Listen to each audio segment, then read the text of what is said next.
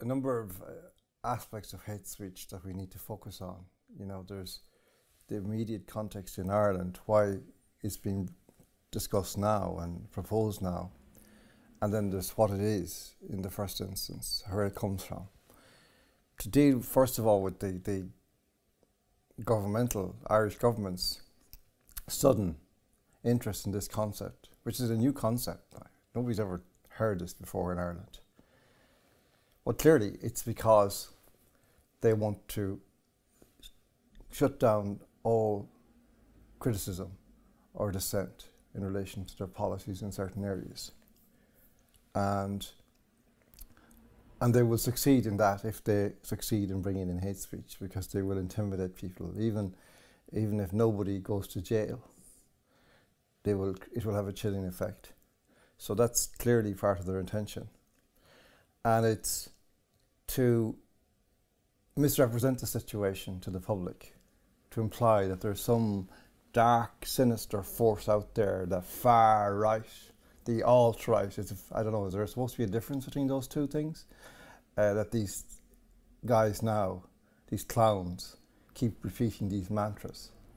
Romano Guardini, the uh, great uh, priest and philosopher, used to talk about a society in a particular stage of degeneration as being clotted with catchwords. Well, now you can see that in Ireland, coming out of every politician's mouth, the same phrases the far right, the alt right. Like they just repeat each other's mouth. They have no idea what any of these phrases mean. Uh, they have a vague idea who they're trying to target with these, and who they're trying to tar- target is anybody who questions their agenda. Now, the agenda in Ireland is very specific because it arises from the fact that Ireland is actually a vassal state. We are entirely in the hands of outside forces, once again, as truly as we were under English dominion uh, over 100 years ago. Uh, our politicians, therefore, are not our politicians, they're not our leaders. I saw them at the ploughing championships and they were being chased by various people to make comments about certain things, and they were all running away. And thought, these guys are like the viceroys of old now. They represent outside interests in Ireland. They don't represent the Irish people. As soon as they are elected, they cease to represent those who voted for them. They represent other forces, which we can't see, but they are in general. The EU, obviously. The United Nations is another one. But increasingly and more so, uh, big tech, who are these companies who have their European headquarters in Dublin, who come here uh, basically to avoid taxes in America or wherever they're from. Usually they're from America. And to, so they're basically quasi criminal operations at that level, like they're tax dodgers. And we welcome them. And they have poisoned the, the, the, the, the groundwater of our culture, of our ethical culture in relation to all these matters. Because they have created a moral hazard in relation to taxation, which I don't see how anybody can be impelled or compelled to pay tax given what's going on in our country. But they're here and, and they have established something new in, in Ireland that isn't yet in place in elsewhere. It's a kind of an experiment. And it's kind of a, a public private form of government where the, these tech companies seem to kind of be part of the government insofar as they come up with a lot of, of the agenda and impose it on the politicians. And the politicians willingly go along with it. And that has to do with changing Ireland fundamentally. And we saw that in relation to gay marriage. You know, gay marriage was came out of nowhere. You know, 10 years ago, nobody was talking about gay marriage. Suddenly, it was the most important right of a generation.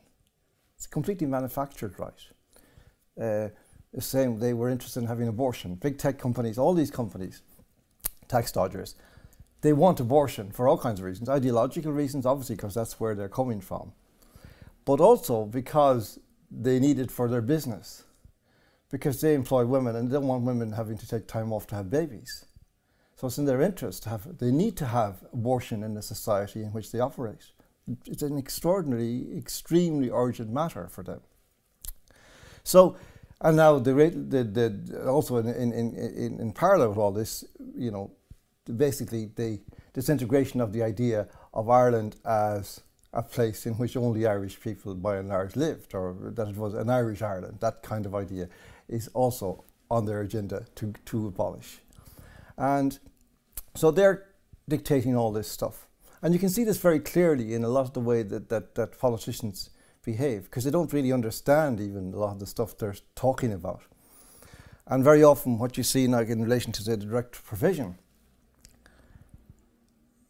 despite what the media will tell you, that this is about racism and the far right, this is about one thing and one thing only. It's about the corruption of the government, which refuses to talk to people about what it is doing to, or trying to do to their communities.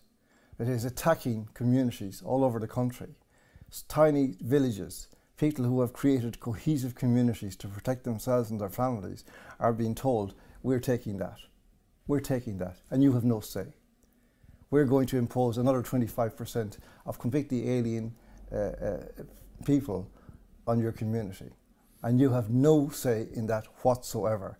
And then anybody who raises a question about that is called a racist. And they set out these shills, these thugs and, and bullies going around with placards, uh, attacking these good, decent people in their own communities.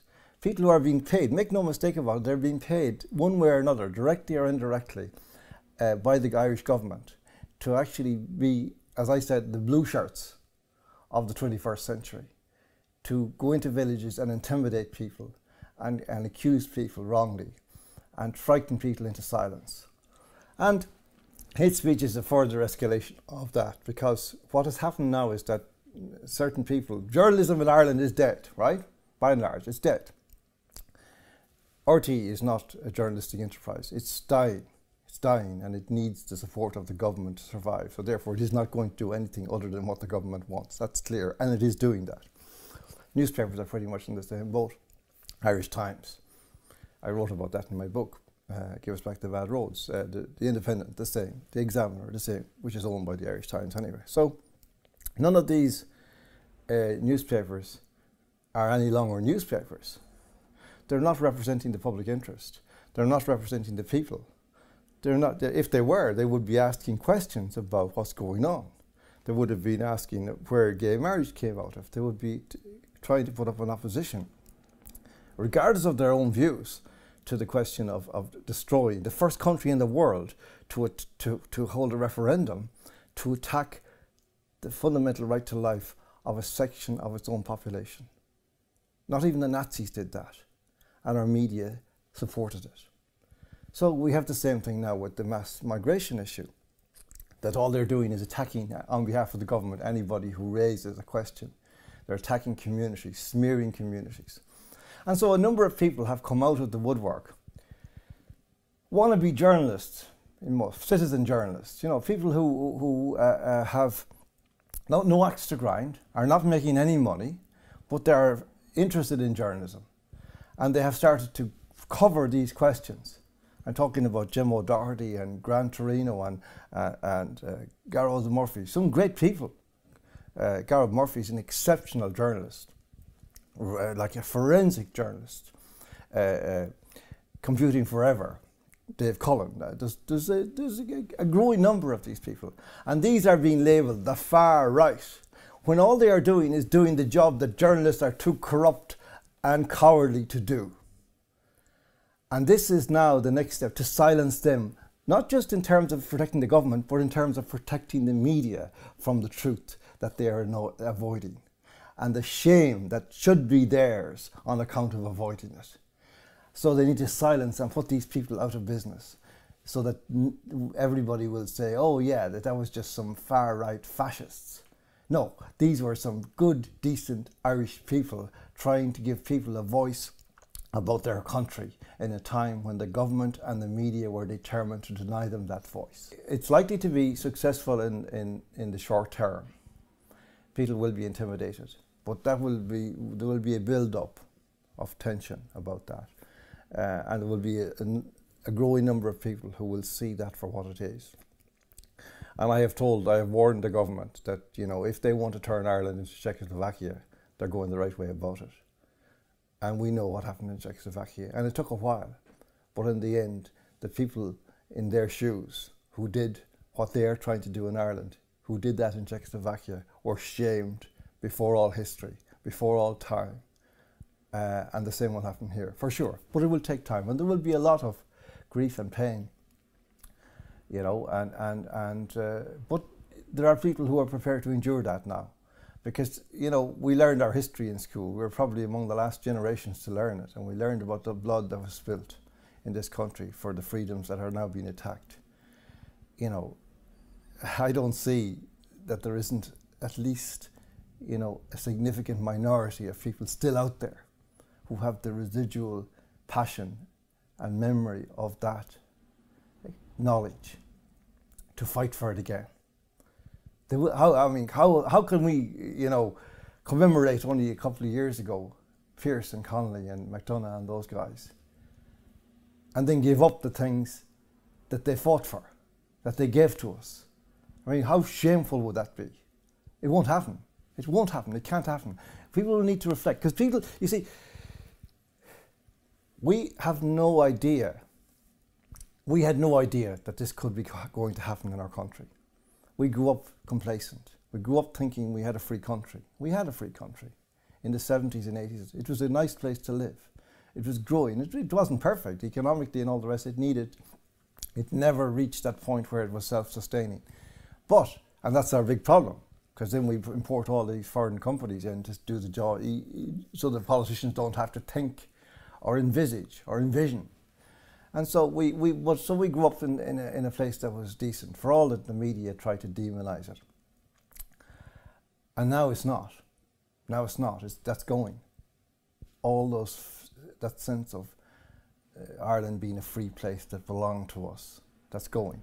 You, I think that any politician who thinks that the Irish people will lie down under tyranny again has got to have his head examined. He's got to have his head examined. I certainly won't. I, I, I keep saying to people, you know, I'm 64 years of age. In 20 years, I'll be dead. What can they do to me? You can't kill a dead man. I'm not, I'm not going to lie down under this and neither are you know a million others. And we don't care who's calling it, Varadkar, Flanagan, whoever they are, bring it on. Uh, but it's very important to understand where this is coming from, because this is a completely imported idea. Hate speech. It's an invention of an ideology. And it's part of an ideology that I want to just briefly explain. It's sometimes called culture Marxism. It's not a very good phrase for it because Marxism is not the totality of it, but it is, in a certain sense, a mutant form of Marxism, which has moved the Marxist idea from the economic realm predominantly, where it, where it resided, to the more intimate uh, area of uh, personal identity, sexual identity, and these areas. So that's where you get this all this identity politics coming from. And essentially, what it is is is this modern form of Marxism stirring up hatreds among peoples, gay versus straight, women versus men, uh, blacks versus white, and so on. I, I didn't realize 25 years ago when I started writing about fatherhood and, and incurred the wrath of the feminists that I actually had stumbled right into the heart of the storm, into the eye of the storm. I was already there in the mid 90s uh, writing about this. I had no idea what I was doing. I was floundering, trying to figure out what the hell is going on. How come everybody's talking about human rights?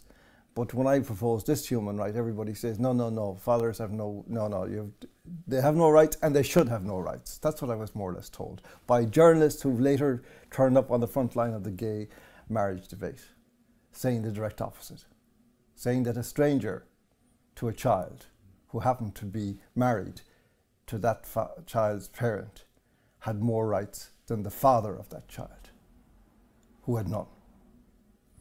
So I, I, this is all stuff that, that was new to me, and I stumbled into it. So in the la- so what this is then is that uh, these politicians in Ireland import this. It's come in here, and they see an opportunity because they have all these LGBT goons on the streets who who storm stormtroopers who've been doing this for years now. And they're, they're, they're kind of like amount to a private army now for politicians who will do all the dir- dirty work. It's interesting if you look uh, that they just don't confine themselves to LGBT issues any longer. They'll turn up in, in issues to do with migration, for example. Why are they there? Because there's a trade off. The trade off is they'll do the gov- government's dirty work if the government allows them into schools to teach children about masturbation at six or seven years of age. That's the deal. So pretty much that's the deal. Things like that. So all this stuff is actually happening. It's very hard to believe that this is happening in our country. For somebody who lived here all these years, like from the 60s, 70s, 80s, 90s, this is like we used to read Orwell in school. We, re- we read Animal Farm, and then afterwards we read 1984. And we used to kind of have this sense of fascination among ourselves, thinking, what kind of societies where could it be that would generate this kind of oppression, this kind of tyranny? Well, now we know. We're in the middle of it now. It's happening here in front of our eyes. Believe it, it's, it's, it's, it's incredible. It's incredible. But it's happening. It's, it's actually happening day by day now. You can see it. You can see it in the tone of the politicians. Charlie Flanagan, I mean, like recently on RTE, he, he, he was asked, uh, well, for examples of hate speech, and, and, the only one he could think of was something that happened to him. Now, the last time I looked at a picture of Charlie Flanagan, he wasn't black. And I don't think he's gay. And I know he's not a woman, not yet anyway. And, and, and here he was. The only instance he could think of was that some guy followed him around at the ploughing championship asking him a question about mass migration. And he described this guy as, I think, alt right. What does alt right mean? Does anybody know in Ireland what alt right means? Nobody knows. It's a meaningless phrase that was imported from America. All this is imported from America or elsewhere. And you hear, you hear people now talking about, you know, in Ireland, about white supremacy. There is no white supremacy in Ireland. And you know why? Because there are no white people in Ireland. We are not white. We were never white. White people only exist in the world in places where there is a political agenda, an ideological agenda that places them in opposition to other races. That never happened in Ireland. It never was an issue in Ireland whatsoever. We're not white. I have never once in my life ticked a box that says I am white. But we have a corrupt media. There is nobody willing to stand up because, you see, not alone do the media not report and, and, and talk about these things in a way that would be useful to the people to help them, but its sole role, self allocated role, is to attack anybody who tries to talk about them publicly.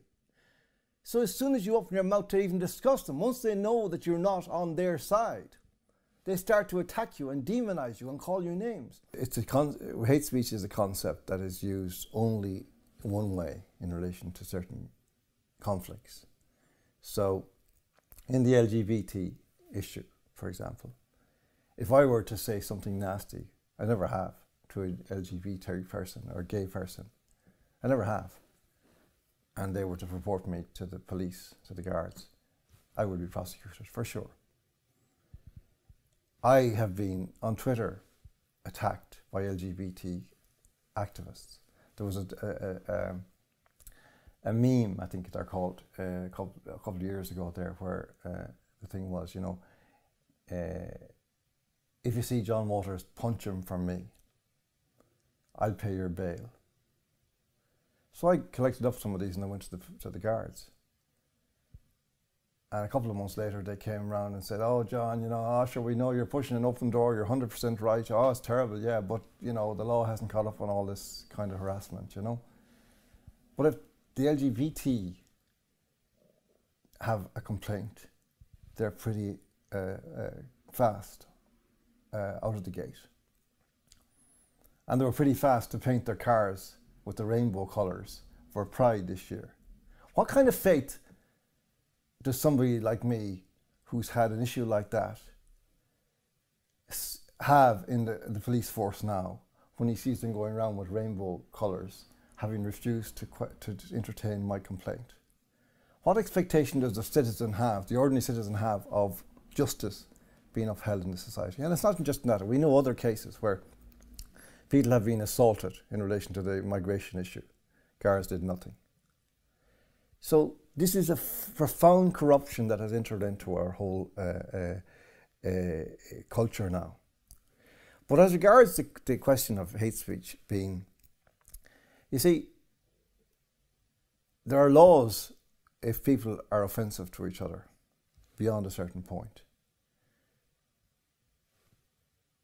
If the law is broken, if somebody is assaulted, if somebody is uh, uh, intimidated, if somebody is harassed, there's plenty of laws to deal with that. This isn't about that. It's very interesting if you actually look at what they're calling racism now and the way they do it. It's very interesting when you look at some of the episodes we've had recently because what, what you see is that the word racist is appended to somebody's name first without any evidence being offered. And the word goes out, oh, racist, racist, racist. But there's no, everybody's kind of saying, well, what did this person say? No evidence. No hate speech. Said something nasty about minorities, which, by the way, isn't necessarily racist. Not at all. And then eventually, what you actually find is they'll find one thing and they'll put it out, and everybody will nod their heads and say that's racist. But when you look at it, it's not. Not at all racist, because racist is, is the assertion of superior, the superiority of one race over another by, by virtue of the race of that of certain people. It's not just saying something that a black person doesn't like or a white person doesn't like. That's not racist. But in our culture now, it has become that. you can make that stick now.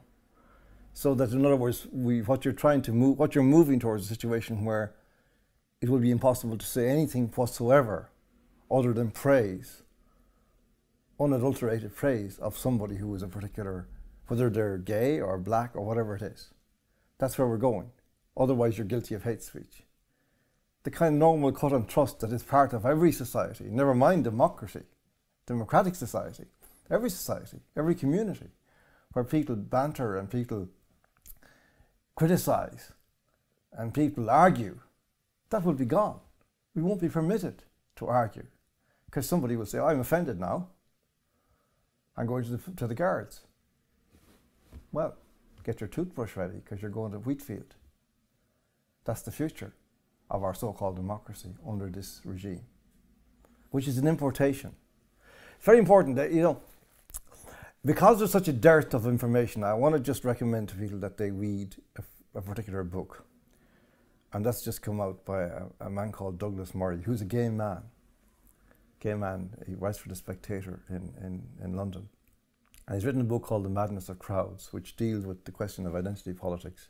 And he's broken it down into four categories feminism, LGBT, race, and trans. He gives a particular section to trans, which he regards as the most sinister and dangerous of all, and I agree with him, because trans is going to destroy tens, if not hundreds of thousands of young people forever, for all of their lives. They're going to be destroyed by this madness. And Douglas Murray says, for example, about the LGBT campaigns, and he's a gay man, he says that the purpose of them is to derange society. To derange society. I, I, have no doubt that that's true. I've long suspected that. And this is what all of this stuff is about. But what is interesting in our culture is that, that conservative so called politicians are doing it. Well, now they are getting involved. And there are two reasons. One is because, as I say, we're a vassal state. We, the politicians we have are not capable of running any kind of Ireland other than the one that exists, as with them as the messenger boys of, of external agents.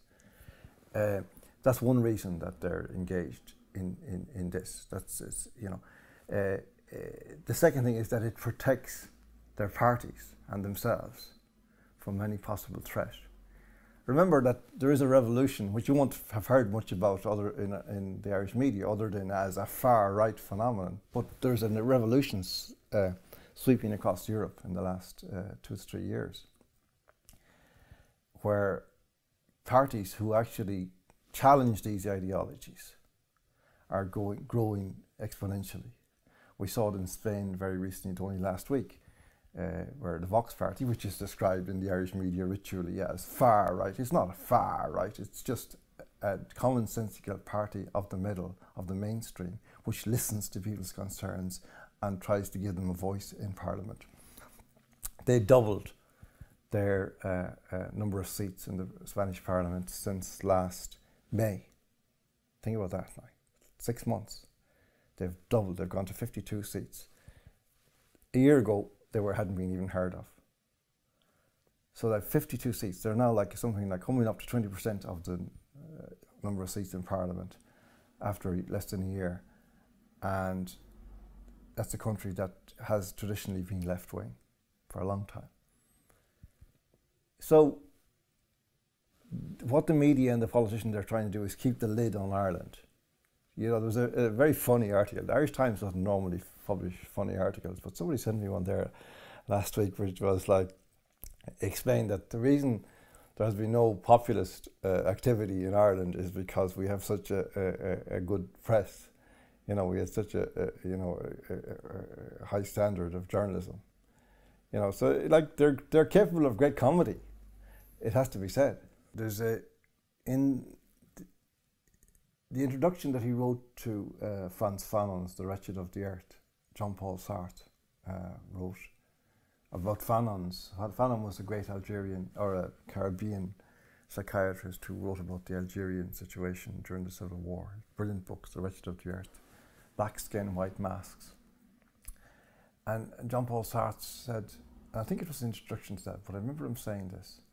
He said that he was outlining Fanon's warning to the world, to Europe particularly, and how, and it was a very severe warning about the consequences of colonialism in the world.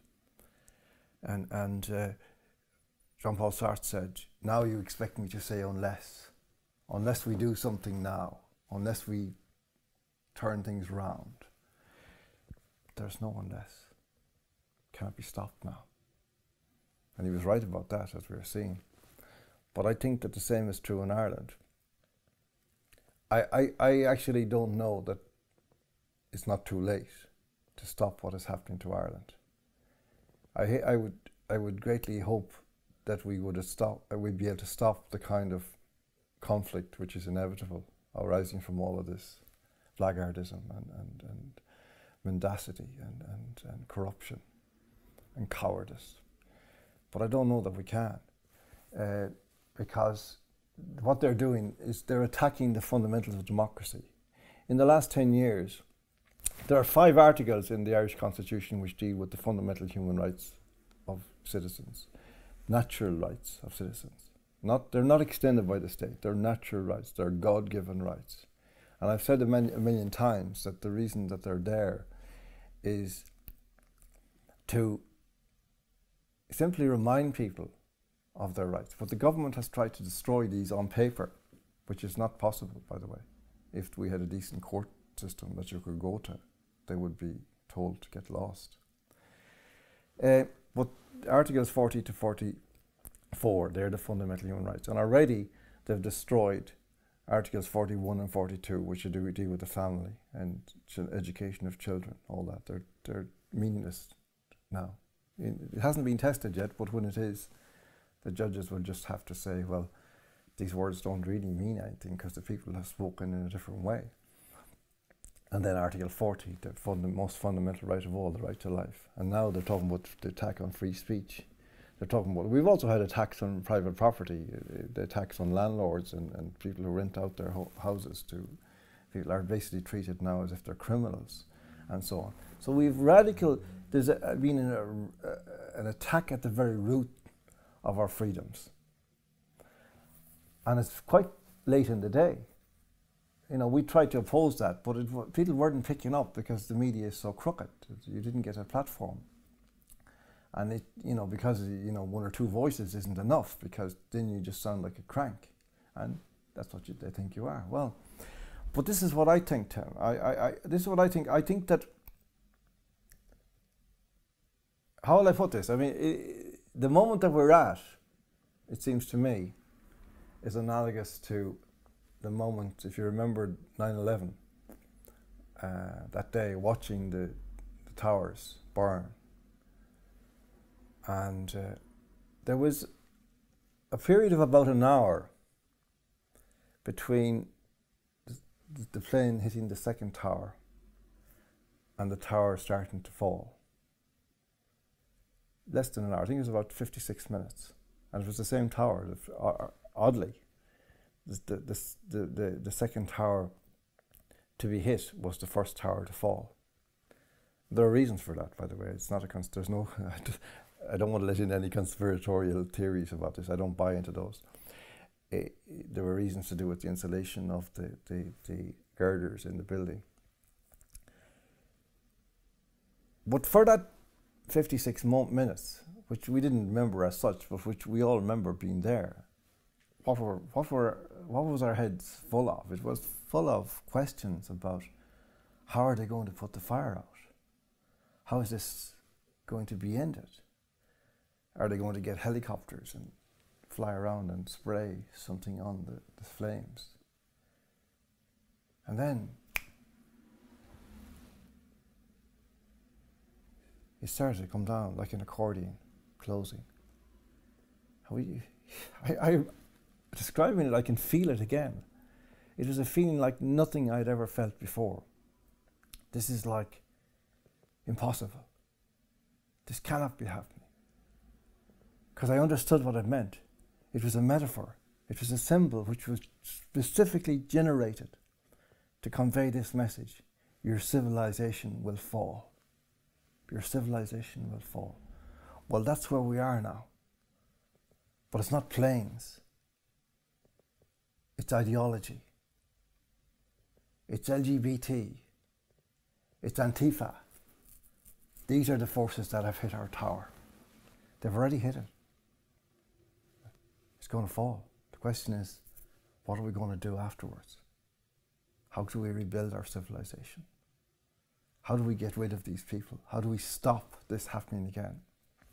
What, how do we pick up the pieces of whatever is left after this calamity has reached its conclusion? I really believe that that's true. I really believe that that that we've been I've been picking at this for twenty odd years, not knowing what I was dealing with.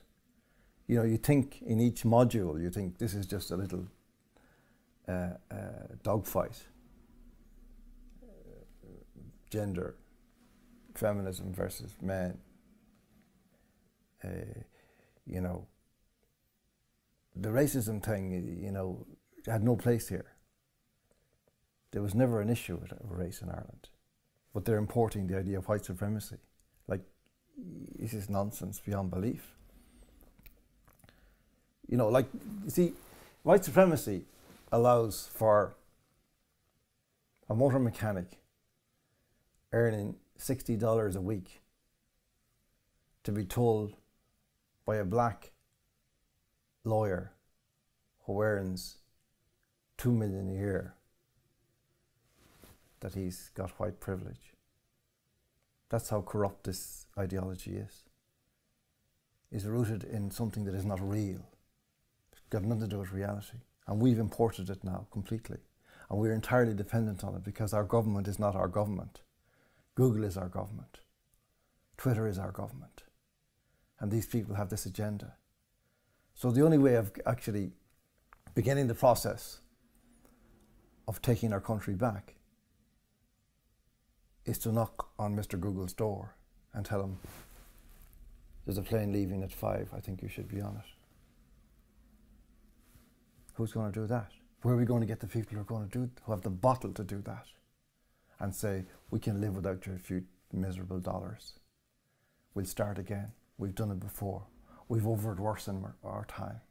We've overed worse in our time. This is a country that has come, bef- been uh, been hit by innumerable calamities, and we survived. We can survive. But my point is, and we will survive, or something of Ireland will survive. But my point is that the pain that will occur in the interim will be comparable to, to some of the periods of the past. Perhaps not the worst, like the famines, but it will be pretty bad. So the sooner we start fighting back, the better for ourselves.